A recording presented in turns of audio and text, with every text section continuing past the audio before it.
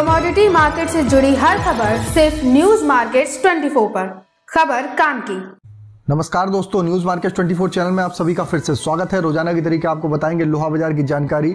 लोहा बाज़ार में मंडी, गोविंदगढ़ एमएस सिंगट के भाव एमएस स्क्रैप के भाव की जानकारी कास्ट के भाव H R C C R C coil और साथ ही साथ मार्केट के मोस्ट इंपॉर्टेंट सपोर्ट और रेस्टेंस लेवल भी बताएँगे। तो इससे पहले जो लोग भी पहली बार हमारे चैनल पर जुड़ रहे हैं, चैनल को अभी सब्सक्राइब करें और बेल नोटिफिकेशन को ज़रूर दबाएँ ताकि इसी तरीके की महत्वपूर्ण जानकारी आप लोगों के मोबाइल पर प्राप्त हो सके। तो सबसे पहले आपको बता देते हैं, बाज़ार खुलने से पहले मार्केट की रणनीति, मार्केट में किस तरीके से उतार चढ़ाव होगा, अगर ये भी आप जानकारी जानना चाहते हैं तो सुबह 9:30 लाइव का सेशन आप ज्वाइन कर सकते हैं, लिंक आपको डिस्क्रिप्शन बॉक्स में मिल जाएगा।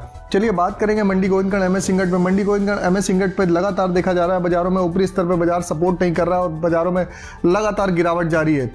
विदेशी बाजारों में जो क्लूज के हिसाब से देखा जाए तो विदेशी बाजारों में चाइना का सपोर्ट नहीं मिल पाने के कारण बाजारों में यहाँ घरेलू भारतीय बाजारों में लगातार गिरावट का माहौल बना हुआ है। लेकिन बाजारों में यहाँ पर जो बाजारों में बाजारों में रेट घट के मिल रहे हैं तो बाजारों में आप जो मील वाले हैं, उनके पड़ते भी नहीं आ रहे हैं। इस समय अगर बाज़ार में देखा जाए तो बाज़ार में बहुत ज़्यादा निचले लेवल पर बिकवाल भी नहीं आ रहा है, इसलिए बहुत मार्केट के उतार चढ़ाव की जानकारी और मार्केट का ट्रेंड जानने के लिए जुड़े सुबह साढ़े बजे लाइव न्यूज़ मार्केट ट्वेंटी पर अजय सिंह के साथ।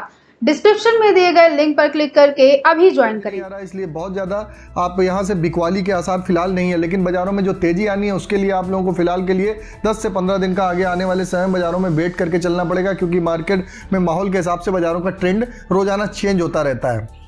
इसी के तहत एम एस का भाव कल छियालीस हज़ार पाँच सौ रुपये रहा इसमें चार सौ रुपये की गिरावट के साथ बाज़ार बंद हुआ। एम एस स्क्रैप का भाव पैंतीस हज़ार रुपये रहा। M S ingot old scrap का कन्वर्जन रेट ग्यारह हज़ार पाँच सौ रुपये बना हुआ है।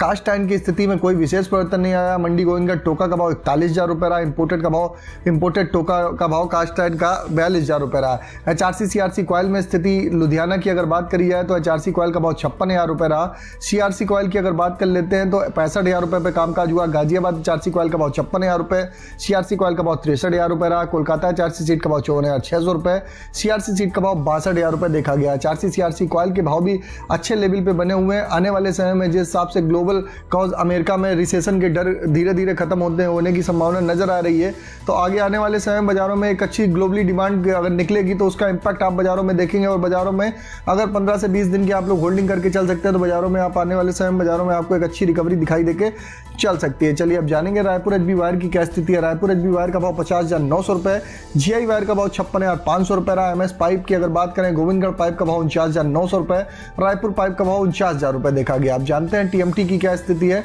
मंडी गोविंदगढ़ में टीएमटी की स्थिति इक्यावन हज़ार छः सौ रुपये दुर्गापुर का भाव अड़तालीस हज़ार पाँच सौ रुपये इंदौर का भाव बावन हज़ार रुपये रायपुर का भाव अड़तालीस हज़ार तीन सौ रुपये जयपुर का भाव पचास हज़ार सात सौ रुपये देखा गया मुजफ्फरनगर का भाव उनचास हज़ार आठ सौ रुपये भावनगर का भाव तिरपन हज़ार रुपये गाजियाबाद का भाव इक्यावन हज़ार एक सौ रुपये जलना का भाव बावन हज़ार आठ सौ रुपये रहा सभी टीएमटी के भाव भी आप देख के चल सकते हैं। बाजारों में तीन सौ, चार सौ रुपये प्रति टन की गिरावट दर्ज करेगी जो इंगट में गिरावट आती है, उसका रिफ्लेक्शन दूसरे दिन बाजारों में आपको टीएमटी के बाजारों में देखने के लिए मिलता है। और टीएमटी के भाव में भी यहाँ पर इक्यावन हज़ार रुपये की रेंज अच्छी है। इक्यावन हज़ार रुपये की रेंज में आप खरीदारी करके अगर लॉन्ग टर्म की अगर आप होल्डिंग के मन बना रहे हैं तो लॉन्ग टर्म के हिसाब से आप खरीदारी करके चल सकते हैं। चलिए बात करेंगे आज के सपोर्ट और रेजिस्टेंस लेवल की मंडी गोविंदगढ़ वैसे तो आज का एक अच्छा सपोर्ट का लेवल छियालीस हज़ार रुपये का ही, लेकिन पैंतालीस हज़ार आठ सौ रुपये का आप एक सपोर्ट मान के आप निचले स्तर पर खरीदारी करके चल सकते हैं, लेकिन ऊपरी स्तर पर अपने हिसाब से अपना माल ज़रूरत के हिसाब से ही खरीदारी करेंगे तो बढ़िया रहेगा। रेजिस्टेंस का लेवल सैंतालीस हज़ार दो सौ रुपये एम एस स्क्रैप अगर पुराने लोहे का सपोर्ट की बात करें, चौंतीस हज़ार तीन सौ रुपये का सपोर्ट है। रेजिस्टेंस का लेवल पैंतीस हज़ार सात सौ रुपये का है। वरिष्ठ जानकारों के अनुसार लोहे बाज़ार में इसी तरीके से बाजारों में एक रेंज बाउंड एक सीमित दायरे में बाजारों में कामकाज फ़िलहाल के लिए दिखाई दे रहा है। छियालीस हज़ार से सैंतालीस हज़ार पाँच सौ की रेंज में बाजारों में काम होता हुआ बाजारों में दिखाई देगा।